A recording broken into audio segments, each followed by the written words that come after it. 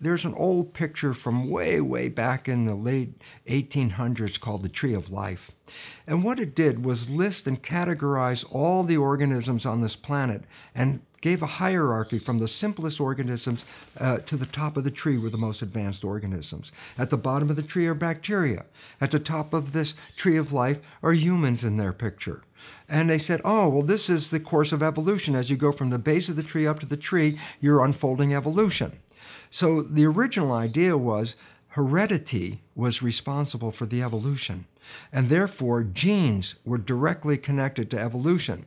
So that at the bottom, the primitive organisms would have very few genes. And as you go toward the top, more and more complexity would lead to more and more genes because the genes were providing the characteristics. So when you get to the level of human, that's why they anticipated there was going to be over 100,000 genes. But what did we find?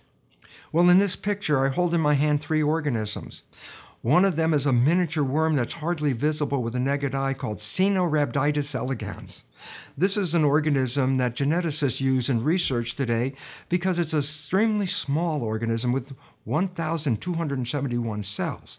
And it has lots of behaviors and characteristics. So geneticists study this very simple organism, trying to get the secrets of genetics with a very small number of cells. And it turns out the Caenorhabditis elegans has about 19,000 genes. And then you go higher up the tree, and there's supposed to be more genes, and we end up with the fruit fly, again, another major species studied by geneticists and understanding heredity. And you say, well, how many genes does this more advanced fruit fly have over the, over the worm? And you can see how much more complex a fly is than this primitive worm. And it turns out the fruit fly has only 14,000 genes. Well, this threw a monkey wrench in the belief right away. How can you go up higher up the scale and end up with less genes? But the biggest monkey wrench, as I mentioned, is when we got to the top of the tree and found that humans have 19,000 genes, essentially the same number of genes as the most primitive worm that we studied in our laboratory. And all of a sudden it says then our belief that complexity in life is due to genes is totally false. So it doesn't come from the genes. And now we have to understand where is evolution coming from? It's not coming from the genes. There's something else. And it's interesting because back in 1809, 50 years before Charles Darwin wrote on the origin of species, the first and more accurate uh, literature on the nature of evolution was published by a scientist by the name of Jean Baptiste de Lamarck. Lamarck Lamarck studied evolution and wrote the story of an evolution of hierarchy from primitive organisms to more complex organisms.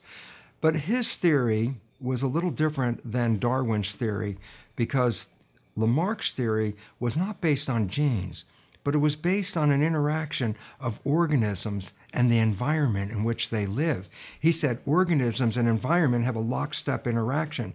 You don't find polar bears in the tropics, you don't find orchids in the Arctic. Every organism fits in its environment, and that's what he keyed into. And it was so important because in his story of evolution, it wasn't based on genes. They didn't even know about genes then. He based it on the nervous system. He said if you look at the evolution based on the development of the nervous system, you can get an accurate understanding of the ascension from primitive organisms up to humans with ever increasing uh, development of the nervous system and not related to the genes. So, this is uh, a future that we have to look into and go back to the original story of Lamarck.